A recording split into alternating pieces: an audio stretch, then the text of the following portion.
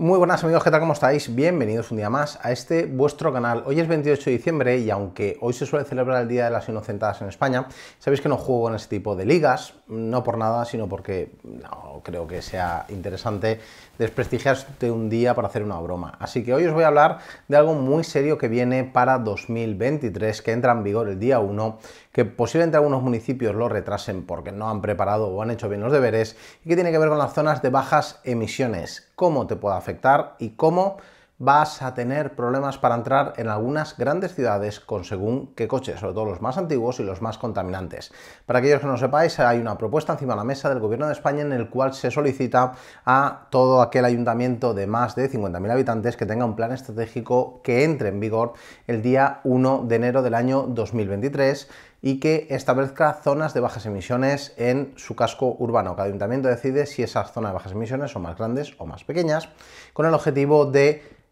evitar la contaminación local. Mm, curiosamente solo atacan al vehículo, no atacan nada relacionado con calderas, no atacan nada relacionado con el transporte público no eh, ecológico, eh, bueno, tantas y tantas cosas que hay que no se atacan, que solo se atacan en este caso al vehículo eléctrico. Y nos encontramos con características muy, muy importantes que os quería contar. ¿Qué vehículos van a ser los que tengan problema? Aquellos que no tengan distintivo medioambiental, aquellos vehículos de más de 13,8 años, coches que no tengan eh, distintivo ambiental de la DGT, que no te corresponda, vehículos gasolina anteriores al año 2000 o vehículos diésel anteriores al año 2006 son los principales municipios los principales vehículos que se van a ver afectados. Dentro de las grandes ciudades nos encontramos 5 Madrid, Barcelona, Rivas Vacía Madrid, San Cuá del Vallés y San Joan de Espí, como las principales ciudades afectadas, pero no se queda ahí porque hay un listado de 20 municipios que superan los 50.000 habitantes y que se van a ver afectados,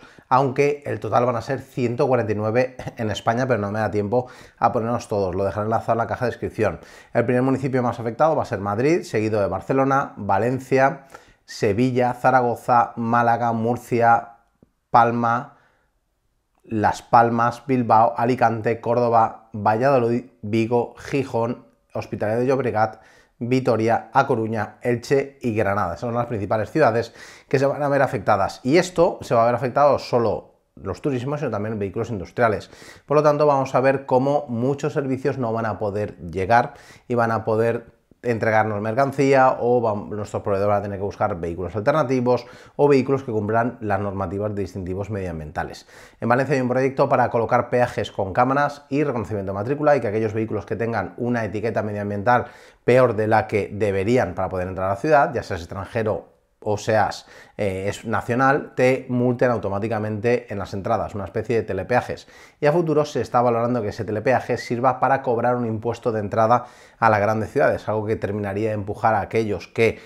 no vamos a la ciudad prácticamente para nada a seguir viviendo fuera de las ciudades y aunque yo sea de Valencia, prácticamente la ciudad no la visito para nada. ¿Estas zonas de bajas emisiones van a evitar la contaminación? Pues sinceramente no tanto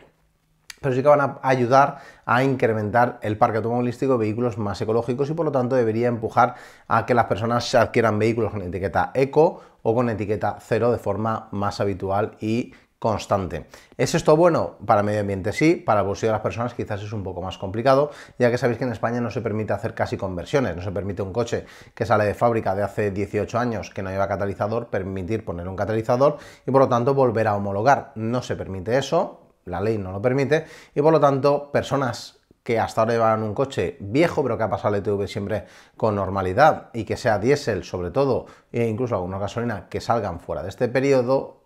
que marca la ley, por ni más ni menos no van a poder entrar a las ciudades o van a verse perjudicados por esta norma y automáticamente van a ser multados. Va a ser un escándalo y va a ser un problema total, porque aunque ha habido algo de evolución sobre la gratuidad del transporte público, yo que vivo fuera de la ciudad no tengo una conexión fácil para ir al centro de la ciudad, ni en metro, ni en autobús, y por lo tanto estoy obligado prácticamente a ir en el coche porque no hay alternativas. En bici tampoco, porque hay unos cuantos kilómetros. Por lo tanto,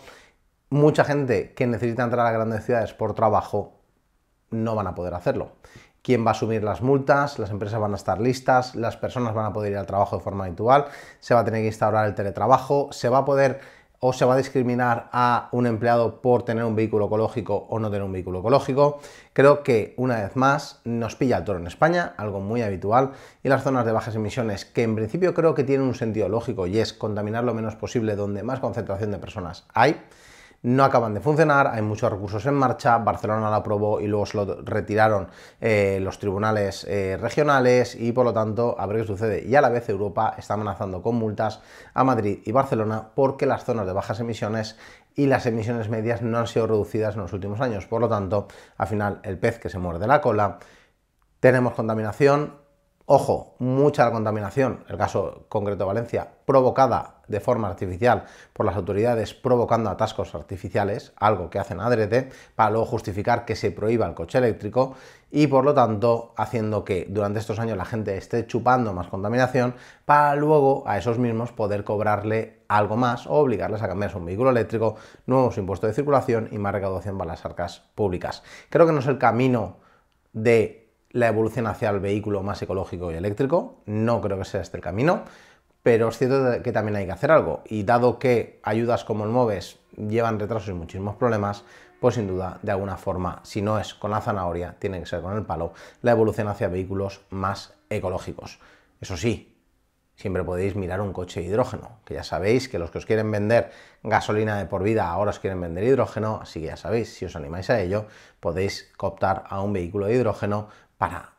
qué, para que lo puedas cargar en casa, no, para que tengas que ir a la misma gasolinera donde hasta ahora ibas para poner ese combustible para tu vehículo eléctrico. Y recuerda, cuando lo dejes aparcado en la calle, ese hidrógeno se evaporará porque se calentará y se gastará la energía donde no debe. Pero bueno, temas aparte, la zona de bajas emisiones entra en vigor el día 1 de enero, veremos cómo afecta, yo creo que va a intentar haber muchas prórrogas, va a ser un caos, mucha gente no se va a enterar, va a recibir multas y va a ser un auténtico desastre en muchísimas grandes ciudades. Yo solo os informo, preguntar, buscar la información y medios locales sobre vuestra ciudad, cómo se va a actuar, qué calles pertenecen a las zonas de bajas emisiones y por lo tanto a partir de ahí estar alerta porque va a ser un cachondeo tremendo y es el 1 de enero. Ya, a final de esta semana, tenemos ya las zonas de bajas emisiones en marcha. Por lo tanto, mucho cuidadito que la cosa viene seria y podemos llevarnos más de un susto en forma de multa. Sin embargo, si tienes un coche con etiqueta A o B, o sea, tienes etiqueta B, tienes eco o tienes cero, no te vas a tener que preocupar de nada. Pero ojo, porque cuando se popularicen las eco y las cero, lo que harán será utilizar ese sistema de cámaras, en el caso de Valencia por ejemplo, para establecer peajes y que entonces empiecen a pagar todos. O sea que la trampa de para que haya menos contaminación en las ciudades es muy relativa. El objetivo es poder recaudar más para gastar en otras cosas. Si de verdad les preocupase la contaminación en las ciudades, serían muchas más cosas que atacar única y exclusivamente al vehículo, en este caso de combustión. Mi nombre, Alejandro Pérez, espero que este vídeo os haya resultado de interés. Ya sabéis, os dejo algunos enlaces y nos vemos en el próximo. Chao, chao.